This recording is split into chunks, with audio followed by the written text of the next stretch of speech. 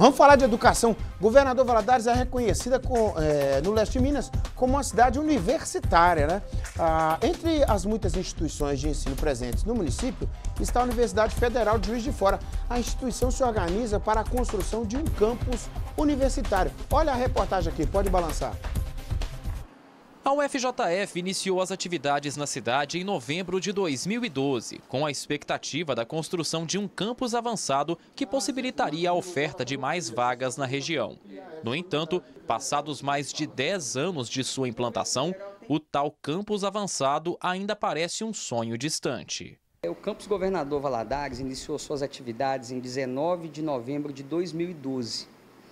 Logo quando a instituição se instalou em Valadares, nós não tínhamos um espaço próprio para funcionarmos. Em 2013, iniciaram as obras do nosso campus no terreno denominado Miura 4.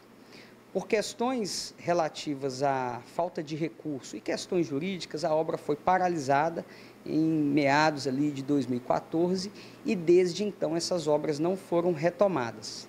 Atualmente, a UFJF em Valadares conta com mais de 3 mil alunos e cerca de 480 servidores efetivos. Como o campus nunca ficou pronto, estudantes e funcionários precisam se deslocar por diferentes pontos da cidade, já que as salas de aula e os escritórios administrativos funcionam em 11 pontos distintos do município.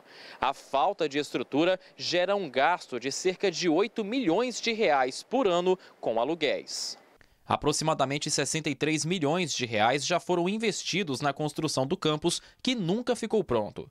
O diretor-geral da UFJF em Valadares explica que para que as obras sejam retomadas e concluídas, é necessário a instalação de uma infraestrutura básica na área da universidade.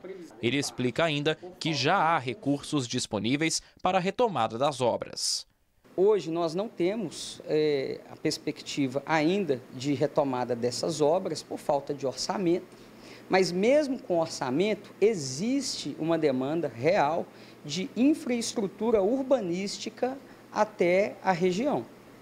É mais do que necessário que se tenha uma estrada com acesso e que no futuro a prefeitura disponibilize transporte público para que as pessoas possam é, frequentar o local mas também é necessário a disponibilidade energética, de energia elétrica, água e esgoto. Isso de forma complementar à nossa demanda por orçamento para a retomada das obras. Bom, existe uma estimativa feita pela nossa equipe técnica por volta de 140, 150 milhões de reais. Isso para que nós tenhamos condições de implantar a nossa sede administrativa e alguns cursos no local. Atualmente, a UFJF oferece todos os anos 800 vagas de graduação e 40 de pós-graduação. O número de vagas poderia ser ampliado se a sede própria da instituição já estivesse pronta.